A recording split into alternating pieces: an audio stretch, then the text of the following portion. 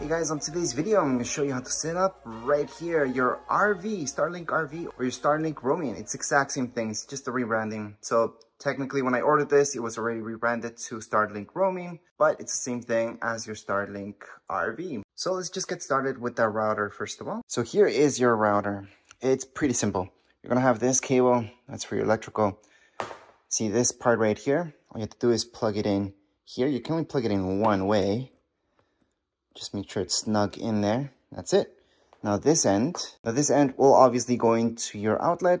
So just hook that up. But before we do that, just hook up this part to your dish. So let's move on over to your dish. So to set up your dish with your stand, you don't need to take out the cable.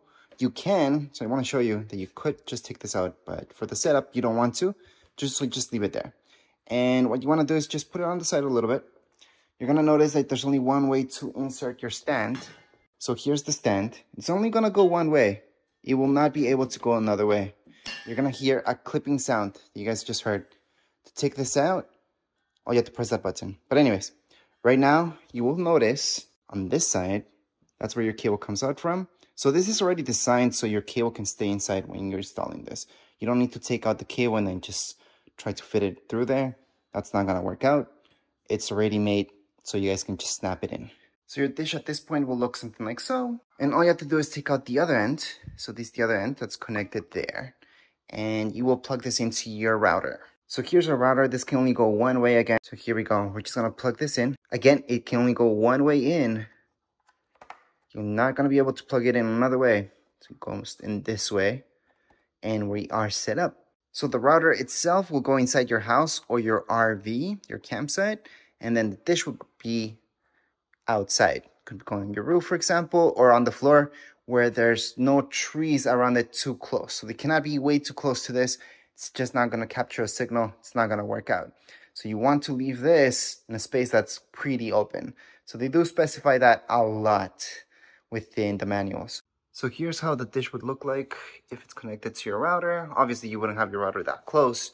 Cable's really, really long, so you don't need to do that and your dish will move by itself just to calibrate where it's supposed to be going towards. So it's to point a certain direction and that would be it. But at this point, you're pretty much ready to go on and take over everything, the setup from your phone. All you have to do is just hook that up in the outlet. So again, you're supposed to plug this into an outlet and then just go to your phone or tablet and do the whole setup from there. Right into your app store. Now this would be the exact same thing if you have an iPhone or iPad. Down here below, you're going to see search on the bottom right hand side. Just tap on search. Up here, you're just going to type in Starlink, look for it. And then what I usually never say is to tap on the very first thing, because that's just an ad. It could just be a totally, completely different app. What you want to do is scroll down a little bit, and it's going to be the second one. So here we go. We could just press on get, or you guys can open up just to make sure it is. And this is the official one. So this one's the one that you want to download. So just press on get once you do that, it's just gonna go ahead, verify, and it's gonna start the download. It's a very, very small app. Right down here, it's gonna tell you which iPhones and uh, how big this is as well. So right here, it's gonna tell you it's around 110 megabytes, and it's compatible with any phone that's running iOS 13 or later, which also does include the iPod Touch, which I didn't think it would be compatible. But anyways, once you're here, you guys can go ahead and just tap on open press, always, always press on allow by the way.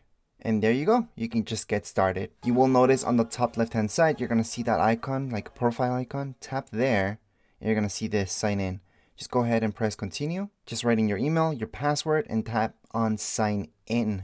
Press allow again. Once you press allow, you're gonna see this, your account. However, now you can just press on the top left hand corner of your screen, on that X.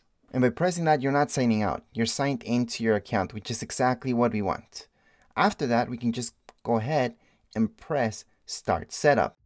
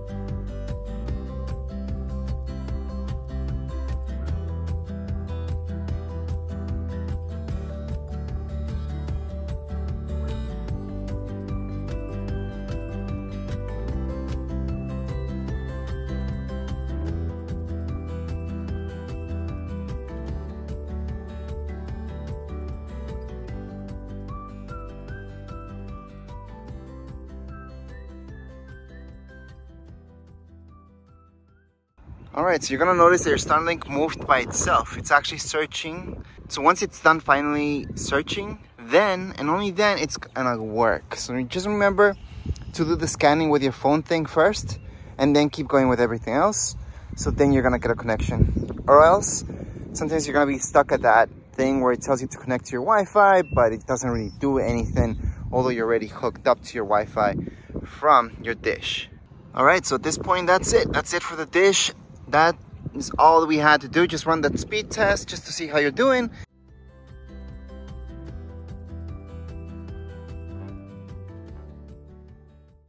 and enjoy your dish. You can pause your service at any point if you have this type of service with roaming. Just go right into your app. Once you open up your app, on the top right hand corner of your screen, you're going to see that icon that's for your profile. Just tap up there, top right. Once you do so, you're going to see this. Scroll down a little bit and you're going to see Right above sign out on the bottom, it's to say pause service.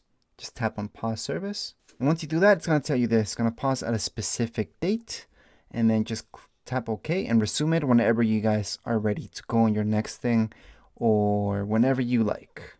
Also keep in mind that you can cancel that upcoming pause at any time. So if you change your mind, you can cancel that and then just keep going. Once you're done with that, on the top left hand side of your screen, just tap on that X. And that's it. At this point in time, you should see this upcoming pause of your service. It's going to be that notification. So just make sure to activate it whenever you want and deactivate it whenever you don't. It is for the whole month though, once you activate. And then you can just deactivate it so you don't get charged for the next one. And that would be it for this video. If you guys have any comments, questions, you guys can write down here in comments area. Don't forget to subscribe and like. Thank you.